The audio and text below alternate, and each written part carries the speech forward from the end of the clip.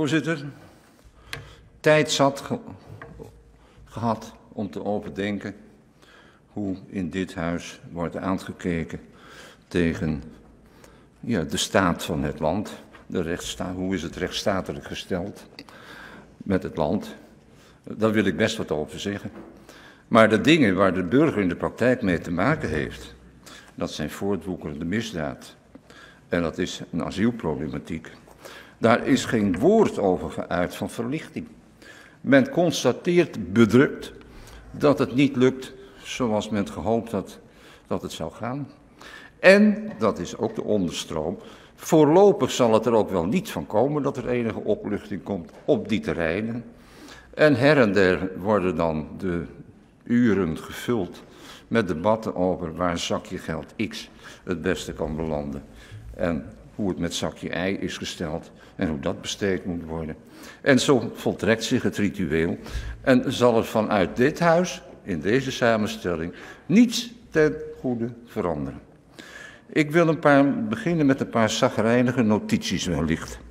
Hoewel, de memorie van toelichting in de begrotingsstaten, die laat zich lezen als een, laat ik zeggen, een leerboek voor ethisch gedrag. En voor arbeidsvreugde, waarachtig. Op de werkvloer bij het ministerie van Justitie, als je die memorie leest,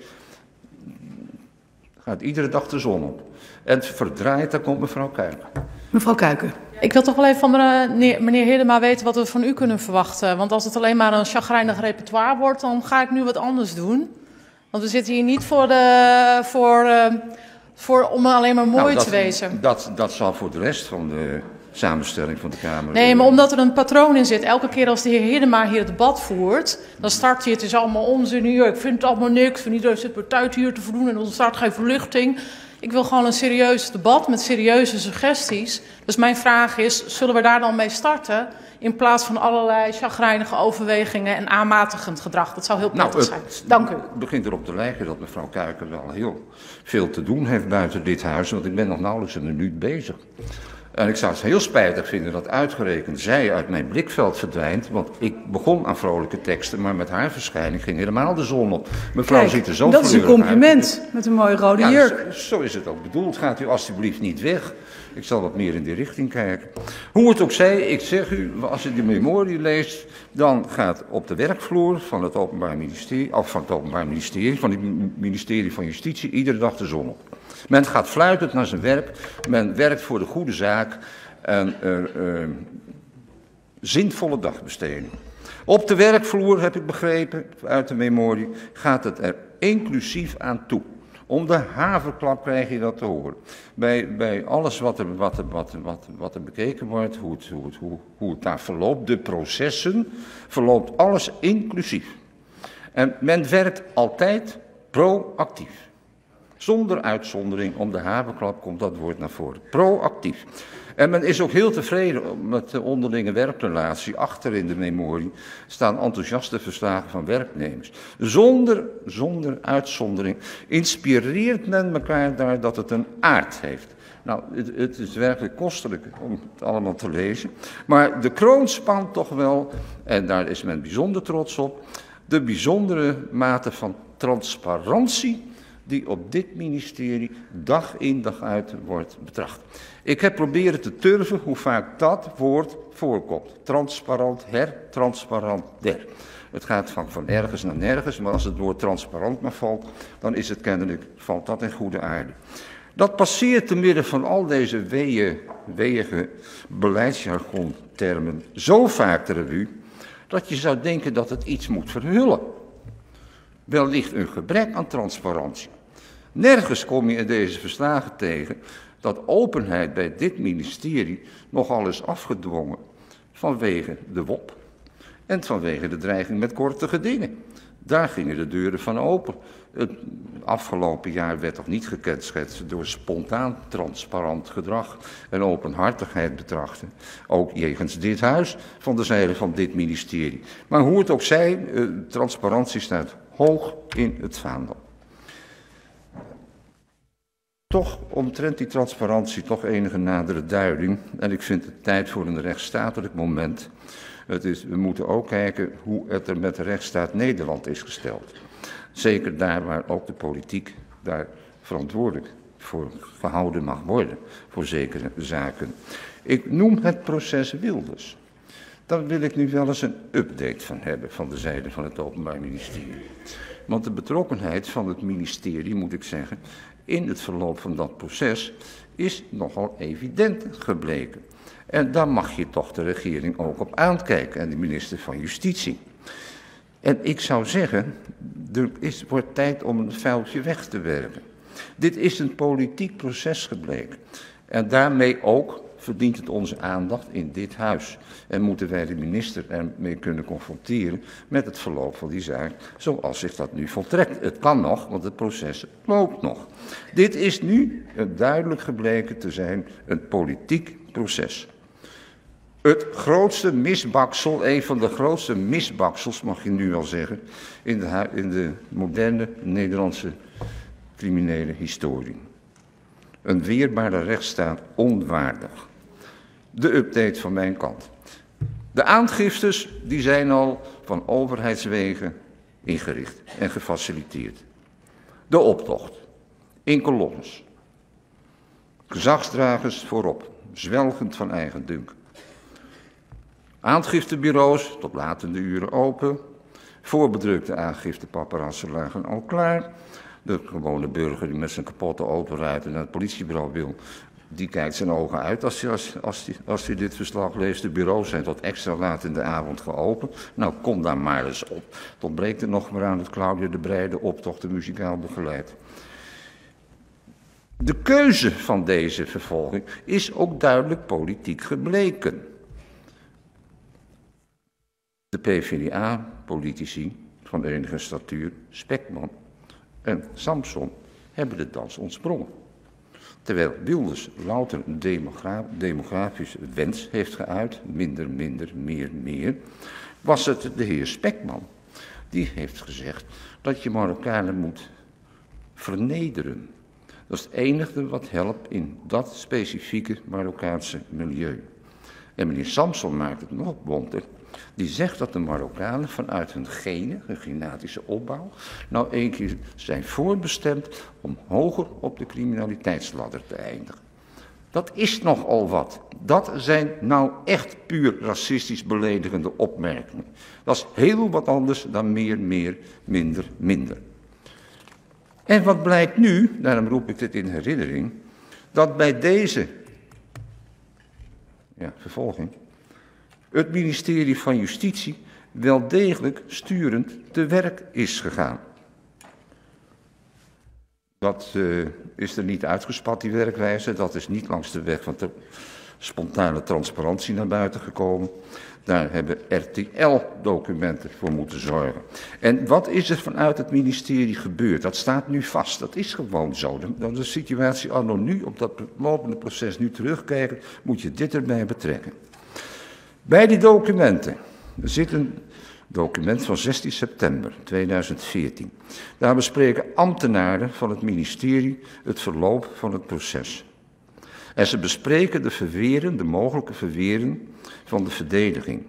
En dan zegt ambtenaar één tegen de andere ambtenaar: Ik zal de punten die je noemt aan de collega van het OM doorgeven. Rechtstreeks vanuit het ministerie naar het OM. Dan krijgt meneer minister Opstelten een ambtsbericht van het OM. Waarin ook de namen Spekman en Samson worden genoemd. Want ze zien erbij hangen als van de zijde van de verdediging Samson wordt genoemd en Spekman wordt genoemd. Dat, dat, dat is niet prettig. En in dat ambtsbericht, dat conceptambtsbericht van het OM, komen die namen wel voor. En wat gebeurt er dan? Die namen worden weggepoetst na overleg van Bolhaar, en een ambtenaar van het ministerie. De ambtenaar vindt het niet handig om het erin te laten staan, want dat speelt de verdediging in de kaart. Nou, wat moet je nog meer? Dan gaat het door. Ambtenaren van het ministerie die elkaar mailen.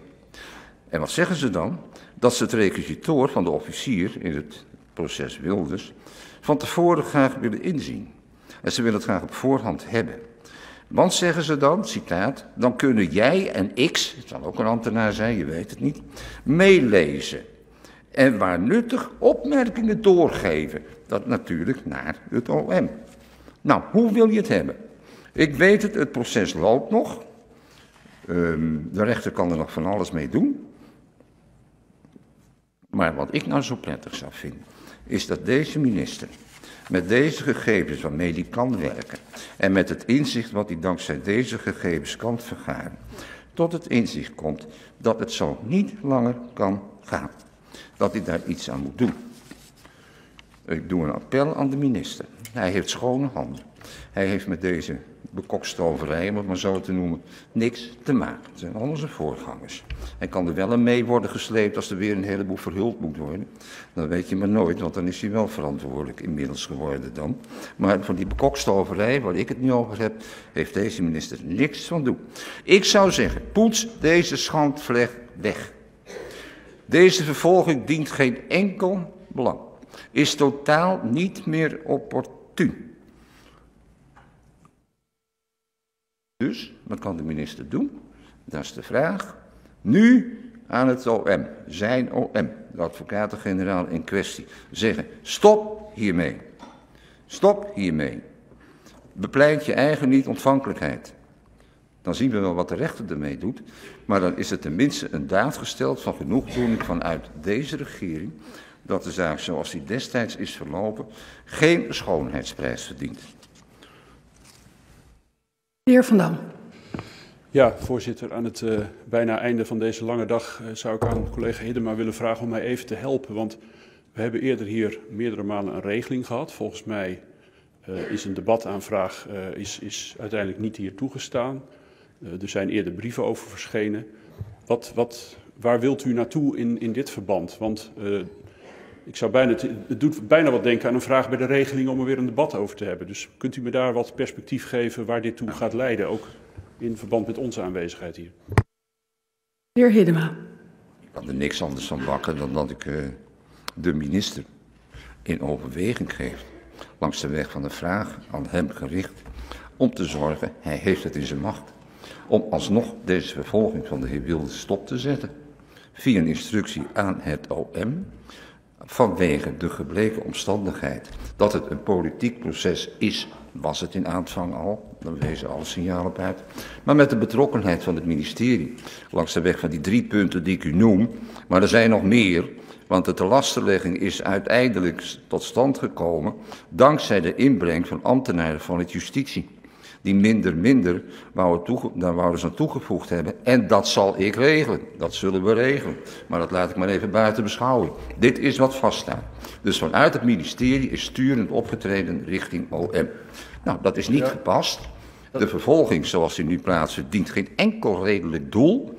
Het is een staaltje rechtsongelijkheid van je welste. En daar zit de minister met schone handen, eindelijk hebben we er een. Die kan nog redden wat er te redden valt. En opdracht geven de zaak te stoppen. Meneer Van Dam. Wat, wat, wat moet nou, met ik, algemeen ik ken overleg? Zittings, ik ken uit de zittingszaal de techniek van herhaling is de kracht van onze boodschap. Maar als ik u goed begrijp, dan, dan is dat het punt. Dat u wil, de minister wil oproepen om, om er nu meteen een einde aan te maken. Dat is uw oproep. Althans, een einde aan de vervolging, niet dat de minister er een einde aan maakt, maar een einde aan de vervolging van de heer Wilders. Is dat Ja. de, de, het issue? Jazeker. Dan is het me helder, dan uh, hoef ik De, verder de minister te- kan een aanwijzing geven aan het OM. En die behelst in dit geval een instructie aan eh, ja, uw voormalige collega's, zullen het zijn in Den Haag. Stop hiermee. U vervolgt uw betoog. Wat zegt u? U vervolgt uw betoog. Ja, gaan we doen. Ehm, dat was één rechtsstatelijk momentje wat we de afgelopen jaren, wat staat op deze begroting ook toch wel, vind ik. En dan hebben we nog een kwestietje, dat is ook heel bijzonder. En dat is de kwestie van meneer Harbus. Die heeft een brief gestuurd. Voordat hij op, ja, die kregen we dan zo'n beetje ten tijde van het aftreden. En daar is duidelijk geworden in die zaak dat hij dankzij een conspiratie van stilzwijgen door zijn eigen ambtenaar het bos is ingestuurd.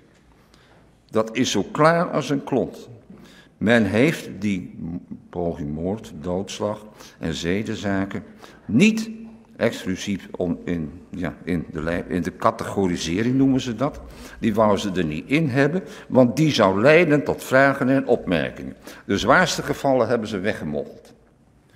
En meneer Harbus, die wou toen nog, nou ja, zijn ambtenaren beschermen, je weet het niet. Maar die zei toen hier op de zaak, op de, op de zitting, op de dag dat hij aftrok, dat dat niet met een bewuste bedoeling is gebeurd. En was het natuurlijk wel. Dat bleek uit het antwoord van meneer Harbers zelf. Maar hij heeft gedacht, ik hoef die ambtenaren niet meer, ik ga hier weg, daar wil ik nooit meer wat mee te maken hebben. Maar wat er is gebeurd, is dat meneer Harbers is misleid door zijn eigen ambtenaar. Wat door een conspiratie van stilzwijgen. Weer ambtenaren die daar eigen, eigen, eigenmachtig politiek zitten te bedrijven. Dat hebben ze hier ook gedaan. Nou wil ik de minister vragen, wat gebeurt er nou met dit soort ambtenaren? Als het een bewindsman de kop kost. En het bedrog is evident. En de bedoeling is om ons, het land en het volk, vertegenwoordigen, te misleiden. Door ernstige gevallen van misdraging door asielzoekers weg te moffelen. Onderaan de lijstje overig. Wat gebeurt er dan? Heeft dat personele gevolgen? Merkt iemand daar wat van? Dat, dat verbaas ik mij altijd. Daar hoor je nooit meer wat van. Maar het is nogal wat. En waar ik steeds maar zie dat de transparantie wordt betracht van hier tot hunder, eh, mag ik deze vraag toch ook wel stellen. Wat er op de werkvloer gebeurt, waar het zo prettig toe is, met mensen van dit kaliber, die deze streken hebben geleverd. Merken we daar ooit nog wat van? Dan gaan we nu naar de asielindustrie, om het maar zo te noemen. Ook een hopeloze zaak, uh, failliet. Uh, de bedoelingen die de ordelievende, vredelievende, laat ik hem zo noemen, passende burger heeft over wat een passend asielbeleid zou moeten zijn. Daar heeft al niemand het meer over. De passende burger en de ordelievende burger, die alles moet bekostigen, die wil gewoon een asiel zoeken die op de vlucht is geslagen. Hij hoeft nog niet te scherp in zijn nek te hebben of uh, een kogelgaat is in zijn hoge jas bij, bij de IND. Maar hij moet wel met een goed vluchtverhaal hier komen. Dat je zo iemand bescherming biedt en koestering, dat doet een mens goed, dat wil je best. Nou hoor ik dat de bewindslieden die maken, oh nee, hier in de Kamer worden verre reizen gemaakt. Uh, Italië, ik heb er niks van gemerkt, kost het allemaal. Bolivia zelfs. Uh, uh, het kan simpel hoor, om je te oriënteren op een werkvloer. Ga eens naar een AZC. Praat eens met mensen van vluchtelingen. Praat eens met mensen van de IND. Ze willen niet al te vaak met hun naam in de openbaarheid, maar je hoort wat je ja, kunt verwachten dat je hoort. Het merendeel van alle vluchtverhalen is list en bedrog. We worden bij de neus genomen. Het zijn geen echte vluchtelingen. Het zijn economische vluchtelingen. Waarom wil mensen dat nou niet horen? Vroeger werd iedereen die hier kwam, die werd betiteld als vluchteling.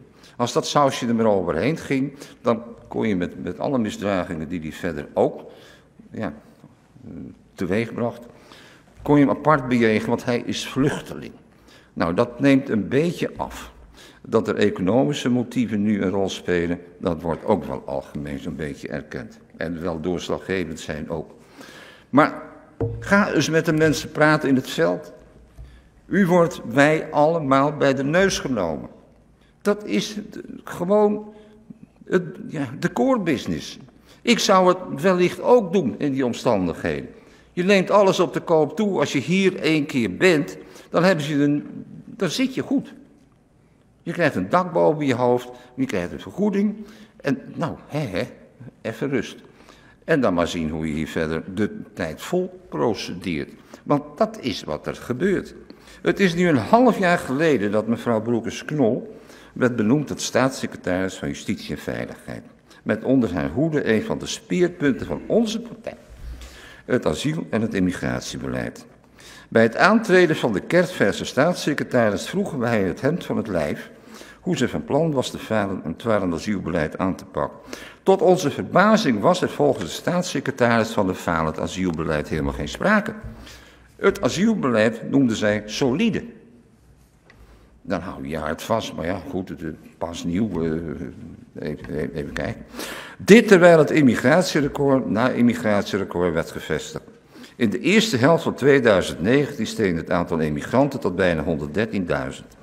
De bevolkingsgroei is verontrustend. Zonder migratie zou de bevolking van Nederland krimpen, maar door de migratie erbij krijgen we ieder jaar een stad en grootte van Leiden erbij. Hoe lang kan onze verzorgingsstaat dat nog aan? Hoe lang kan onze sociale cohesie dit alles nog verdragen? Dat zijn toch vragen, die zijn toch legitiem? Volgend jaar zitten we hier weer. Dan zitten weer een stad als Leiden erbij. En dan zitten we weer elkaar te bevechten over procedures en over zakjes met geld. Maar maatregelen die ervoor zorgen dat we over drie jaar eindelijk eens een keer een oplossing hebben waar visie achter zit. En waar je kunt zien dat er een end aan komt aan het verloop van zaken zoals dat ons nu in de vernieling helpt, is nergens te bekennen. Terwijl de autochtone bevolking krimpt wegen het laagste geboortecijfer, groeit de bevolking uit niet-westerse landen explosief. Volgens de prognoses van de Verenigde Naties zou ons land bij ongewijzigd beleid aan het eind van de eeuw 24 miljoen inwoners hebben. De regering gaat hier veel te langs mee om. Welke visie heeft het kabinet hierop voor lange termijn? Nou, die is er niet. Daar zijn we klaar mee. Vorige week werd aangekondigd dat de maximumsnelheid wordt verlaagd, omdat dit de natuur van Nederland zou redden. Maar wat heeft zo'n kortzichtige maatregel voor zin wanneer de bevolking met 50% is gegroeid? Nieuwkomers willen toch ook allemaal ergens anders wonen en allemaal autorijden. De woningnood is nu al enorm, de zorgkosten stijgen naar ongekende hoogte. De klassen in het onderwijs worden steeds groter. In alle sectoren scheelt met moord en brand. Dergelijke fundamentele problemen vragen niet een kortzichtige schijnmaatregel, maar om een visie en een fundamentele oplossing die nu helemaal ontbreekt. Nog een detailtje. Onze samenleving, dus ook de samenstelling van onze bevolking, verandert ingrijpend als gevolg van massale immigratie. De islamisering vordert in hoog tempo, want dat gaat gelijk op met de immigratie. En is overal zichtbaar. En heeft dat gevolg, kan je donder op zeggen. Het wordt er in het land niet gezelliger op. Laat ik maar simpel samenvatten. Het is een cultuur van klagen en claimen die steeds meer ruimte eist voor de eigen veronderstelde culturele en religieuze waardigheid. En dat vergt aanpassing en onderwerping, vindt men. Dus het wordt er niets gezelliger op. Ik weet niet of dit sociologisch verantwoord is, deze bevinding. Maar dat is wat er voor... De asielketen raakt compleet verstopt. Vanwege het groeiend aantal asielzoekers uit met name Syrië en de hun nareizende gezinsleden zitten de asielzoekerscentra bomvol. Het COA is driftig op zoek naar nieuwe opvangplekken. De wachttijden bij de IED lopen zo hoog op dat de dienst volgend jaar naar schatting 17 miljoen euro aan dwangsommen moet betalen. Moet dat nou echt? Als je dit nog leest, dan ga je toch, denk ik, op het ministerie. Je bent al heel wat gewend geraakt om dingen ja, te roeien tegen de stroom in. Uh, een heleboel dingen kunnen niet en je ligt aan banden en je hebt coalitieafspraak. Maar als je dit toch leest, dan denk je over mijn lijk, dat zal niet gebeuren. Ik verzin een list. Dat krijgen ze niet. Je wordt met de neus genomen, voor het merendeel waar die 17 miljoen naartoe gaat, is list en bedrog. Dan krijgen ze ook nog dat geld. Dan ga je toch van alles proberen om te zorgen dat feest gaat niet door. Iemand die met een claim komt, dan ga ik even heel snel door zijn dossier kijken. En als blijkt dat hij volslagen kansloos is, of met een kletsverhaal komt, dan krijgt hij van mij te horen dat hij een illusie najaagt en dat die die centen hem niet toekomen. Lijkt mij, er moet toch wat te verzinnen zijn. Dat kun je toch niet aan het volk verkopen. Je wordt in een overmachtssituatie gedrongen door de procedures die ze zelf opstapelen en verlengen. En er zit een kraantje aan en daar zitten ze geld uit weg, weg te lekken. En dat, dat ook nog. Dat is toch niet te verteren. Overlastgevende en criminele asielzoekers worden niet of nauwelijks aangepakt. Bijna een kwart van de asielzoekers uit Libië, Marokko en Algerije komt in aanraking met de politie. De medewerkers van de AZC's hebben de noodklok geluid, ze voelen zich niet meer veilig op hun werk. De politie kan met grote tekorten en kan de druk niet meer uit. De rek is er volledig uit. Nou, hebben we het rapport van de commissie van Zool. Even kijken, waar hebben we dat? En we hebben een verslag van mevrouw Rodia Maas.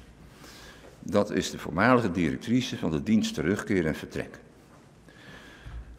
Um, ik heb ze allebei gelezen.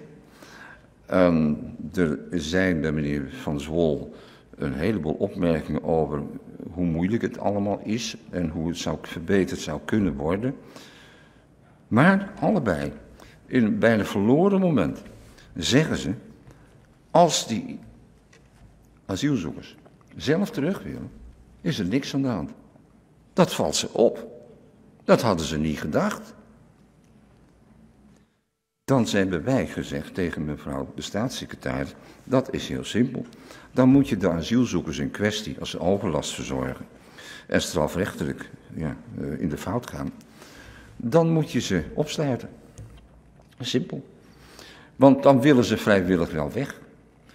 Dan hebben ze een keuze. Van Zwol zegt, als ze een keuze hebben, en dat zegt mevrouw Rodi Maas ook, dan gaan ze weg. Ja, dat zou ik ook doen. Moet ik hier uh, in Nederland alsmaar achter slot en grendel zitten? Of als ik zeg, ik wil weg, dan kan ik naar Marokko. Dan, dan heb je een keuze te maken. Nu wordt een keuze aangeboden. Nee, zeggen dank u wel en er gebeurt helemaal niks. En zo ontwikkelt zich, ik noem het maar, het, een check van de rechtsstaat. Er lopen een heleboel mensen de, de straten rond te schuimen in Amsterdam. Die plegen allemaal strafbare feiten. Allemaal vernieling, allemaal bedreiging, allemaal diefstal. Allemaal feiten waar voorlopig hechtenis op staat. Er staat echt voorlopig hechtenis op. Die krijgen ze nooit. Waarom niet? Omdat ze nooit als individu op een individuele strafwaardigheid worden aangesproken. Ze worden altijd als groep her en der geplaatst en weggevoerd om van het geëmmer maar af te wezen. Maar nooit zoals u en ik en iedereen hier op zijn eigen verantwoordelijkheid aangesproken. Zodra hij een misdrijf pleegt. Dat gebeurt niet. En dat is nou net een manier om te zorgen dat ze vertrekken. Want dan worden ze opgesloten. En dat kan. Dat kan. Ze kunnen in voorlopige hechtenis al die feiten die ik u noem, die zijn stuk voor stuk rijp voor voorlopige hechtenis. Kan, kan de rechter opleggen.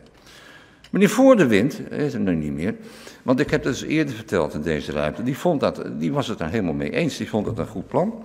En uh, die heeft een motie ingediend. En die motie luidde of de minister of de staatssecretaris zou kunnen bewerken dat vaker van de zijde van het OM de voorlopige hechtenis werd geëist. Dan moet je hem eerst vervolgen, maar gebeurt ook nauwelijks. Maar goed, dan toch maar de voorlopige hechtenis eisen. Dat weet mevrouw de staatssecretaris vast nog wel.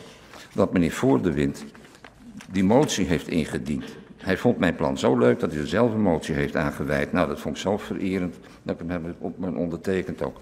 Die motie die is aan de staatssecretaris bekend geworden. En meneer Voor de Wind, dat was bij een algemeen overleg, uh, die heeft nog eens gevraagd: wat vindt u van mijn motie? Dus om voorlopige hechtenis toe te passen.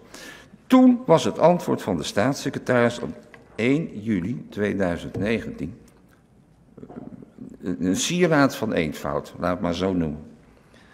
Zij schrijft, bij een serieuze verdenking dat de verdachte zich schuldig heeft gemaakt aan een strafbaar feit, waarop in de wet een gevangenisstraf van vier jaar of meer staat, kan het OM bij de rechtercommissaris de voorlopige hechtenis van de verdachte vorderen. Goh, ja, het staat in de wet. De rechtercommissaris toetst onder meer of er sprake is van vluchtgevaar, recidiefgevaar en een andere grond voor voorlopige hechtenis. De vordering en toewijzing van de voorlopige hechtenis zijn taken die wettelijk zijn toegewezen aan het OM en de rechtercommissaris. Dat is een heel schools bericht, maar het klopt, dat is een sferende vinger. Maar dat wisten we allemaal wel. Maar dan komt het, op deze manier vormt het gebruik, zegt mevrouw de staatssecretaris, het gebruik maken van deze middelen een bestaand onderdeel van de aanpak van criminele asielzoek. Nee, dat wordt het nou net niet. Het is wel een middel, het staat in de wet, maar het wordt niet toegepast. En de staatssecretaris wordt gevraagd, zorg ervoor dat het wel wordt toegepast. En wat doet de staatssecretaris? Die krijgt een wetboek en die geeft een hele schoolse uitleg wat kan. Het staat al in de wet dat het kan. En dan zegt ze, hiermee is uitvoering gegeven aan de motie van het lid voor de wind. Zegt u? Van het lid voor... Nee, dus. De staatssecretaris heeft alleen maar beaamd dat meneer Voor de Wind, mijn kielzog, geen onzin verkocht. dat voorlopige hechtenis inderdaad zou kunnen, in gevolge de wet. Maar een antwoord op de vraag van meneer Voordewind, kan dat, kan dat worden toegepast alstublieft? Dat is er niet. Dus vandaar nu nogmaals mijn vraag aan de rechtercommissaris. Mevrouw, begrijpt mevrouw de staatssecretaris inmiddels wat meneer, wat meneer Voordewind met zijn motie heeft bedoeld? Wat erin staat en wat de strekking is. En dan mijn vraag eroverheen nog maar een keer.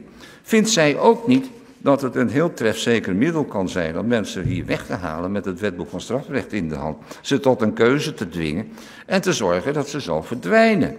Dat is toch ideaal? Rechters die willen daar vast wel in meegaan. Dan moet de grond, dat heeft de rechter, dat heeft mevrouw uh, de staatssecretaris ook geschreven.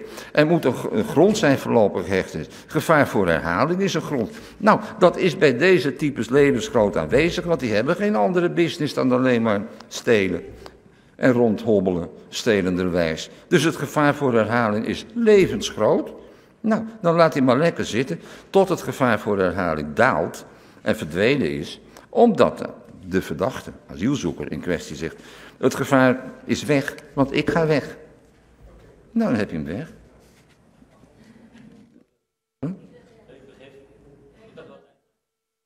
Mevrouw de voorzitter, hebben ze tegen mij? Ja, u hoeft niet te reageren, anders moeten ze hier aan de interruptiemicrofoon komen staan. Oké. Gaat u door. Nou, het was maar een simpele vraag. Ik deel hem op in drieën. Is de strekking duidelijk van de, de motie, is de inhoud duidelijk? En ziet de staatssecretaris mogelijkheden om het OM zo te instrueren dat hij met die mogelijkheden in de hand de mensen opsluit en wegstuurt. Ze moeten zelf de keuze maken natuurlijk. En dan nog een vraagje erbij. Hoe is het gesteld met de behandeling of de wijziging of de herziening van het vluchtelingenverdrag van Genève van 1951? Een stokoud, totaal uit de tijd geraakt verdrag, waar we nog steeds mee opgescheept zitten. En waar men naar grijpt bij vluchtelingenprocedures. Dat zou volgens het regeerakkoord Rutte 3 bekeken worden of dat herzien kon worden. Maar, zo schrijft de journalist Sibinia, die het ministerie heeft gebeld, zoals u wellicht weet, om te kijken hoe de voortgang is, al daar, met, dit, uh, met deze zaak. Uh, dat dijt uit langs de weg van allerlei onderzoekhoeken en gaten. En het zou nog wel een poosje kunnen duren. Dus vandaar mijn vraag, hoe is het ermee gesteld? Ziet uh, de regering mogelijkheden om tot herziening te geraken van dat vluchtelingenverdrag? Want dat ziet nog steeds op vluchtelingen die destijds na de oorlog door Europa doolden. En absoluut niet op de stromen die nu uit Afrika en Azië op ons afkomen. Dan gaan we het nu hebben over ondermijning. Dat, dat is een fenomeen geworden van je welste. Uh, sinds een paar maanden. Ondermijning hier, ondermijning daar. Uh, ik wist, ik, ja, het begrip zijn we niet zoveel. Uh, maar het is een PR-offensief ook geworden van je welste, van de zijde van de gezagshandhavers. Ieder die uh, in crimefightend Nederlands iets voorstelt, die zit tegenwoordig in een praatprogramma met zijn meest manhaftige uniform, krijgt straks voor zich uit en heeft een nieuw monster ontdekt. En dat heet ondermijning, een crimineel monster. Met allemaal tentakels, jawel. Uh, dat ziet er heel bedreigend uit.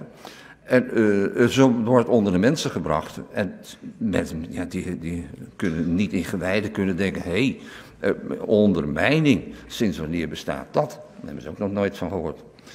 En denken ze dan, hoopt gezaghebbend, gezagdragend Nederland, als die mensen nou denken, wat wij eens een beetje zorgelijk aanpraten, dat ondermijning iets heel ergs is en dat dat pas de laatste tijd de kop opsteekt, en ze zien dat wij die ondermijning heel krachtig aanpakken, dan verdwijnt wellicht onze klassieke, de klassieke malheur, verbonden met onze klassieke opsporingsmethodes, weinig succesboeken, een beetje uit het zicht.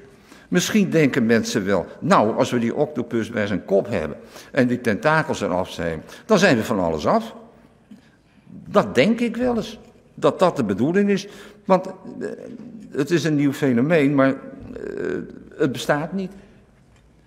Niemand krijgt van de rechter te horen, meneer, u gaat tien jaar de bak in vanwege ondermijning. Bestaat helemaal niet. Als u die octopus of die slang of die, dat ondermijningsspook of monster te lijf wil gaan, dan komt u dezelfde types tegen waar al jaren op wordt gejaagd en die u niet kan krijgen. Dan moet je precies hetzelfde doen. Dat werkt maar even hoor, dit, uh, ja, deze, deze, methode. Maar het stelt helemaal niks voor. En, en dan de tentakels in de bovenwereld. Waar dan? Ik heb er nog nooit een gezien. Er is in Amsterdam eens een wethouder geweest, ja, schijnt contacten te hebben gehad. En, uh, ja, met That's It, al hartstikke lang geleden. Uh, komen wij ooit een bestuurder tegen die langs de weg van de ondermijning heeft geïnfiltreerd in onze kringen, in, bij ons soort mensen? Ik kijk al om me heen. Je komt ze niet tegen. Helemaal onzin. Het is gewoon witwassen is het. Dat is wat het is. Het is de aandacht afleiden van het falend opsporingsbeleid wat tot heden is gevoerd. Een spookgedaante introduceren, een, ja, een strookkartonnen pop opzetten en dan allemaal heel plechtig kijken in het mooiste pak en het martiale uniform. Wie kan daar het hardst tegen aanschoppen? Het is, de, de mensen worden weer met de neus genomen. That's it. En eh, dus eh, tentakels in de bovenwereld. Mag ik van de minister horen of hij er eentje kent? Dat schiet op. Dan zijn de miljardenvermogens. Ik heb ze nog nooit gezien. Ik heb ze nog nooit gezien. En bedreigde burgemeesters, dan hebben we het zo'n beetje gehad. Als het dan gaat om praktische voorbeelden. Ja, ik hoor wel eens burgemeesters die zijn bedreigd, zeggen ze. Maar ik heb nog nooit iemand gezien voor de rechter die veroordeeld wordt omdat hij de burgemeester heeft bedreigd. Dat zullen een paar simpele zielen in een klein dorpje wel eens gedaan hebben. Maar niet een type uit de ondermijningswereld. Nooit gezien. En dat wordt maar onder de mensen gebracht en iedereen knikt meewaardig mee en kijkt naar de gezagdrager die zegt dat het paal en perk en nieuwe maatregelen. Oh, dat gaat de goede kant op. Als we dat monster de baas zijn, dan hebben we ze. Nee, u hebt ze nooit gehad en zo krijgt u ze ook niet. Want er is helemaal geen delict op uh, ondermijning, bestaat helemaal niet. Dus u zult op de klassieke manier verder moeten gaan. En u zult u met klassieke argumenten moeten zeggen waarom de opsporing niet opschiet. En dat al die miljoenen voor die ondermijning, of wat dan ook, helemaal niet bijdraagt aan een opsporing van een nieuw soort delict. Want dat is het niet. Mensen worden gek gemaakt met de ondermijning.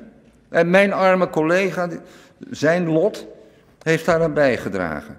Er moest iets gebeuren, er moest manhaftig worden opgetreden, terecht. Maar kom dan niet te zeggen, dit is nou de, hier zie je nou een voorbeeld van de voortwoekerende ondermijning.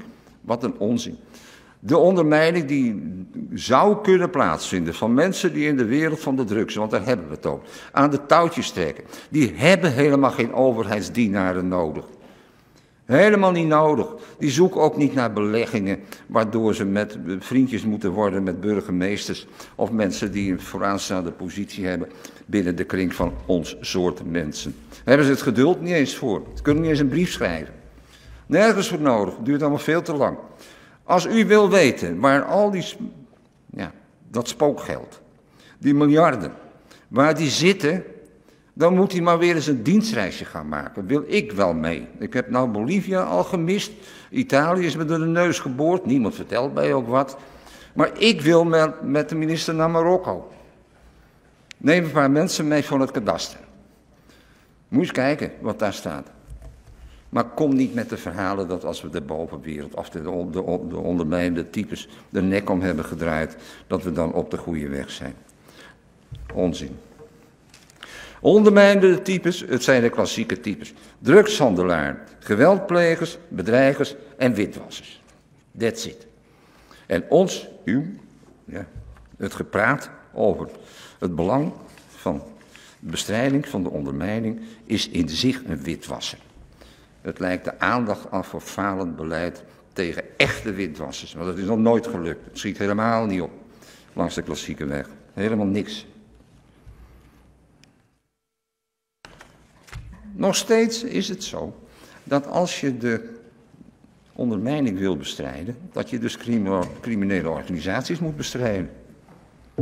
Nog steeds is het zo dat vier van de vijf organisaties niet eens wordt vervolgd. Lees de rapporten van de recherche. Hebben ze geen middelen voor? Doen ze niet. Meer aboir aan strafbare feiten en onderzoeken die je daaruit kunt putten. Ik heb de minister alles gezegd, ga tenminste naar wapens zoeken. De minister zegt, nu, nu, nu we toch zijn, ik heb 45 minuten. Ik heb, nou, minister, ik heb de minister een, een keer onderbroken. Oh. Uh, toen heb ik gezegd van, uh, wat je moet doen met die vijf, met die vier criminele zaken die op de plank liggen. Die hoef je niet te onderzoeken door alle verdachten tevoorschijn te toveren. Want dan ben je maanden bezig. Binnen de kortste keren zit je in een hels proces met tien advocaten, twintig getuigen en vijftien verdachten. Het proces leeft zich maar voort. Hark er tenminste doorheen om te kijken of er een wapenwetvergunning is. Dat was in de tijd van die liquidaties. Want het stikt van de wapens. En die vind je in die dossiers. Hark er doorheen. Wat zei de minister? Ieder dossier met op de plank ligt, dat wordt eerst besnuffeld door een wapenofficier. Ik kan meneer Van Dam niks vragen, maar uh, ik zou de minister bij deze gelegenheid nog eens willen vragen of hij nog steeds achter die bewering staat. Oh. Nou ja, ik reis wel eens, maar ik hoor andere geluiden. Goed, uh, dat was de ondermijning tot nu toe. En hoe wordt de ondermijning bestreden? 100 miljoen incidenteel.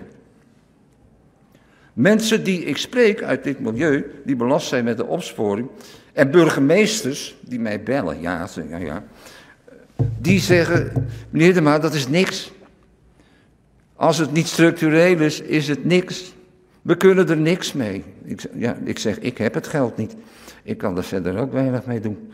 Maar in kringen waar dit geld verlichting zou moeten brengen, overheerst de mening dat het niks oplost. En dat is toch het prijskonijn van, van de minister. Als maar die 100 miljoen en die 10 miljoen er nog overheen. Maar het is niks. En het gaat naar een doel wat niet bestaat. U geeft het geld gewoon ter bestrijding van misdrijven die al lang worden bestreden in de hoop dat het gebeurt. En de burgemeester kan panden sluiten, lees ik. Nou, en dan? Is dat nou een maatregel waardoor het geboefte sidderend denkt: ik heb spijt, ik ga dit nooit meer doen, mijn pand gaat dicht? Houd toch op, onzin. Puur voor de bühne. En wat moet er met die mensen gebeuren die met die boef, die ligt ook in dat pand is, of er is een schot gevallen op het pand, mag het ook al dicht volgens de minister. Maar moeten die mensen daar naartoe? Komt daar een detentiekamp voor, voor een heleboel mensen die uit hun huis worden gezet? Die moeten toch ook huis hebben? Wat schiet dat nou op? Het schiet helemaal niks op. Meneer Hedema, ja. u heeft nog twee minuten spreektijd, tenzij u... Uh... Twee minuten? Ja, u heeft 40 minuten opgegeven, maar voordat u verder gaat, de heer Van Dam heeft een vraag. Ja, voorzitter, wat, uh, wat de heer Hiddema heeft met het begrip ondermijning. Uh, ik zat te bedenken, waar heb ik dat nou eerder mee gehad? Ik heb het eigenlijk met het begrip partijkartel. Dat is ook zo'n begrip wat, uh, wat ergens opgeplakt wordt, maar wat eigenlijk geen inhoud heeft. Maar tegelijkertijd denk ik dat Forum voor Democratie daar ook iets anders mee bedoelt. En misschien is ook wel met het begrip ondermijning, wordt ook wel een bepaalde beweging bedoeld. Want daar zit ik dan mee. Hoe duidt dan de heer Hiddema bijvoorbeeld die aanslag op zo'n advocaat? Hij zegt ondermijning hm? bestaat niet. Daar zou ik me helemaal niet aan willen wagen. Maar ik, ik weet ik zie, hoe de ik zie dat, ja, dat uh, ik ervaar zo'n aanslag als die op, op een advocaat hm. als meer dan maar een moordaanslag. Dat is toch meer dan dat. Het is een aanslag op onze rechtsstaat. En daar duidt dat begrip ondermijning ook een beetje op. Wil die dat dan ook relativeren? Is dat er dan ook niet? Hoe, hoe zit dat? De heer Hedema. Tuurlijk. Ja, ik vind het eigenlijk niet eens gepast om, uh, om gradaties te maken in moorden die gepleegd worden. Ieder mensenleven is mij dierbaar en als er iemand zo wordt afgeslacht, ook, ook een advocaat, dat is afzichtelijk. Simpel as that. En om dan mensen te confronteren van hoe denk jij daarover? En dan moet je je best doen om in, afschuwelijke om in voldoende mate te betrachten dat je het afschuwelijk vindt, want anders is het weer niet goed. Nou, dan bent u bij mij het verkeerde adres. Tuurlijk is dat verschrikkelijk. Natuurlijk is dat bizar. Natuurlijk is dat bizar. Maar ik weet niet hoe de vork aan de steel zit. Dat zou u ook moeten weten. Ik ga niet speculeren over de mogelijke oorzaak van de dood van mijn voormalige collega. Dat ga ik niet doen. En dat het het vertrouwen in de rechtsstaat dan ondermijnt. En dat het gevolgen heeft voor collega-advocaten die nou ook onder bescherming zitten. Ja, dat werkt zeer ondermijnend op het gemoed van al die mensen die het raakt. Absoluut. Absoluut. Maar dat is heel wat anders dan het, minder als eh, het ondermijningsspook waar, mij, waar mij, wij mee worden geconfronteerd. Dat zijn witwassers, dat zijn geweldplegers, dat zijn bedreigers, dat, noem maar op, met tentakels in de bovenwereld. Dat, dat heeft toch niks met deze okay. moordaanslag te maken. Dan stel ik voor dat u naar een afronding toe gaat. Ja, dat ga ik doen. Maar ja, ik kan meneer Van Dam niet geheel en al van dienst zijn. Want dan kom ik in de verleiding om te speculeren over de oorzaak van de moord op een collega. Ja. Ik piek er niet over. Nee, dat, heeft u duidelijk gemaakt. Maar de heer Van Dam, u staat daar. Maar ik krijg allerlei signalen dat iedereen eigenlijk al uh, over het aantal interrupties heen. Uh, dus als ik het weer toelaat, dan willen anderen ook interrumperen. Dus dan wil ik toch wel het voorstel, of het voorstel, ik wil gewoon de heer Hiddema vragen om verder te gaan met zijn uh, betoog. En morgen is tweede termijn misschien dat, dat u dan weer uh, uw vraag stelt. In elk geval, voorzitter, is het zo dat van regeringswegen. ja, dan zit de heer, meneer Hiddema, we hebben hier een beetje. U stelt geen vraag meer. Nee, ik, ik, ik zal geen vraag stellen om u uh, zeker uh, tegemoet te komen. Maar ik vind dit wel een heel, heel belangrijk punt. Omdat namelijk bijna alle partijen in de Kamer en in de samenleving wel die ondermijning ziet. En de heer Hiddema heeft hier alle recht op relativeert het punt van ondermijning. En daarom wilde ik hier aandacht aan besteden. Ja, maar dit was toch wel op een of andere manier een opmerking richting hier, de heer Hiddema. Ja, morgen krijgt hij minder interrupties, afgesproken. Daar heb je het de heer Hiddema. Die kant gaat het weer op. En dat is zo vals als de pieten. En mij wordt nou in de schoenen geschoven dat ik in afweging van de rest van de geëerde Kamerleden de moord op een collega wat minder zwaar op zou nemen. Dat is dus niet waar, meneer Van Dam, mevrouw de voorzitter. Geen denken aan. Gaat u verder. Maar ik gebruik ook niet die moord om mensen met spookverhalen de stuip op het lijf te jagen.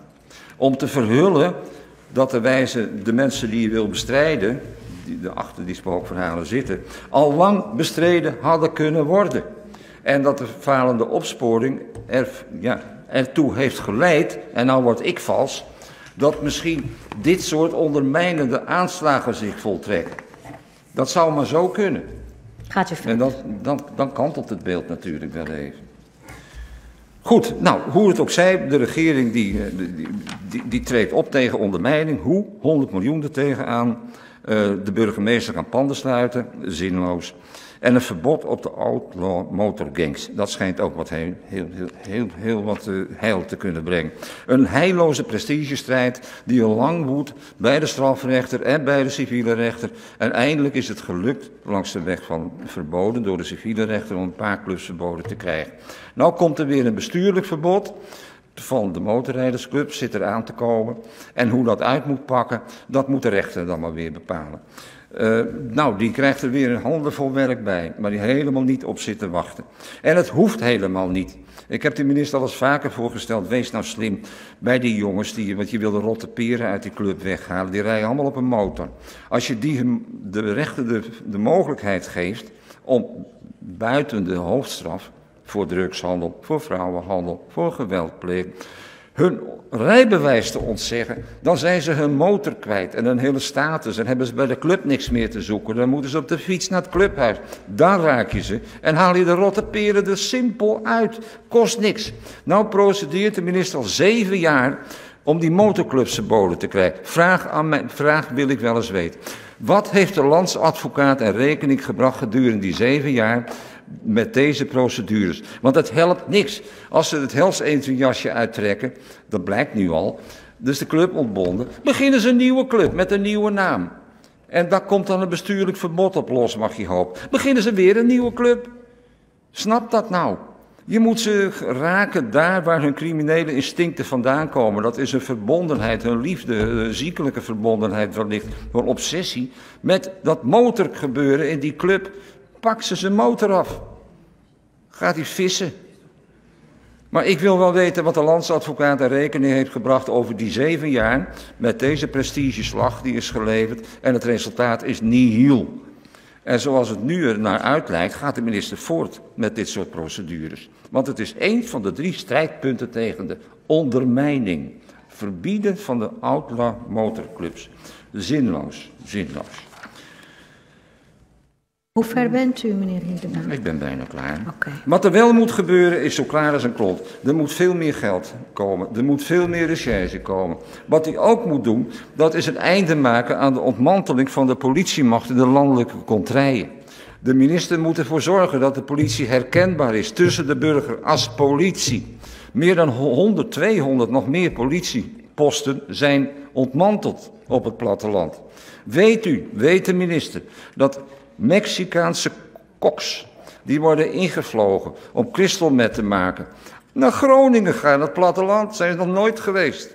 Daar in de maisvelden, daar wordt nu gekokkereld tot het een aard heeft. Alle politiebureaus zijn daar weg. Iedereen met een beetje verstand gaat naar die contraien toe.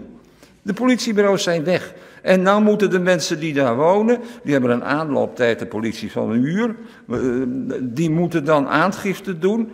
En dat kan niet, want het bureau is weg. Nee, dan is er een multifunctionele, nou, uh, ja, trefcentrum in een, aan de rand van een dorp, waar tijdens de kantooruren een baliekluiver dat soort registraties doet van mensen die langskomen, klagen bij de politie. Die weet helemaal niks, die kent zijn pappenheimers niet, die weet helemaal niet wat er speelt in de regio. Daar gaan de mensen niet naartoe. En daarom zijn al uw cijferijen en uw cijferbrei totaal onbetrouwbaar. Als het gaat om geregistreerde criminaliteit, als het gaat om opsporingspercentages, allemaal nep. Allemaal om de mensen zand in de ogen te gooien.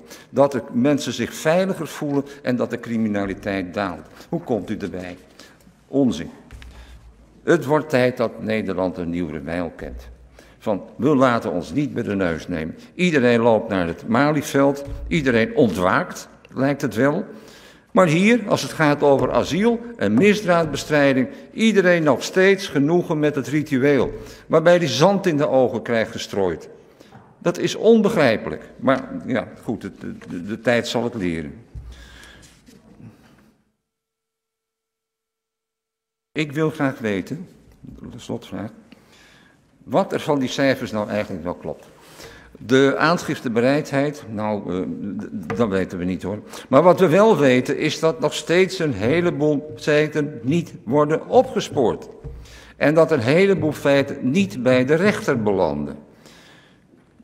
Nou wil ik graag weten, over het jaar 2018, 2019, hoeveel artikel 12 strafvordering procedures bij het Hof zijn aangebracht. Dan kun je zien of de burger het pikt dat zijn aanklacht in de prullenbak is beland of niet. En als daar een toename is, dan kun je zien dat er iets mis is met de doorstroming. En dat er iets mis is met de leiding van het OM, de sturing van het OM en de bereidwilligheid van de mensen in de, in de onderlaag om de zaak echt op te pakken. Dat kun je zien aan het verloop van artikel 12 procedures. En er wordt geklaagd vanuit het Hof dat er zoveel van die procedures worden aangespannen. Dat komt dus omdat de burger geen gehoor vindt met zijn aanklachten bij de politie. En dat de officier seponeert. Nu, het is werkelijk bijzonder. Weer, weer zo'n artikel was het niet in Ter Apel, weer, weer, weer asielzoekers, deze week in de krant of gisteren. De klacht is, de politie doet niks en als hij wat doet, seponeert de officier. Ja, nou dat, dat, en daarom willen wij het legaliteitsbeginsel. Dat wordt hoog tijd. Ik wil de minister vragen een onderzoek te laten instellen door het WODC of er verbetering zou kunnen komen in de opsporingspercentages en de vervolging en vervolgens de de, de berechtingspercentages door invoering van het legaliteitsbeginsel. Men kent dat in Duitsland. En wat je dan krijgt is een staatsaanwalt die moet vervolgen. Moet. En dat dreef druk naar beneden. Want als daar beneden een onderknuppel zit die zonder die verplichting of die hete adem van de officier denkt, ik heb er geen zin in, hier is mijn prullenbak, dat gaat lekker snel, ik wil naar huis. Die heb je ook. We kunnen natuurlijk allemaal hoogdravend doen over de, de kwaliteiten van het politiepersoneel en de beste bedoelingen. Het zal heus gebeuren. Maar er zitten ook een heleboel mensen vast in posities die denken, er helemaal geen zin. En als een officier van justitie wordt afgerekend of die wel of niet vervolgt, dan zorgt hij wel dat hij geen fouten maakt en dat de mensen die de aangiftes opnemen zorgen dat die spullen bij hem belanden. En dat moeten wij ook hebben. het is zo simpel. Kost niks. U zou afronden, zei u net. Ja, dat is ook zo. Ja, nou, dan, uh, u bent door uw uh, 45 minuten heen. Nou ja. Ik weet niet of u nog tijd ja, de, heeft. De, ja, de beste oplossing, maar dat, dat, is een illusie van je welste. Het zou toch moeten zijn dat deze ministers en staatssecretaris na afloop van deze zitting en overziende hoe het verder kan en zal gaan als we zo doorgaan, naar de ministerraad opstomen en zeggen, jongens, hou op. Er gaan hier miljarden bij jullie om naar dat gezalfde milieu en ik zit met een volk in nood en ik krijg 100 miljoen. Het begint weer. We zal afronden. Oké. Dank u wel, want anders heeft u geen tijd meer over voor morgen. Want dan komt de regering aan de beurt en dan moet u ook tijd hebben om daarop te reageren. Dank u wel, meneer Hiedema.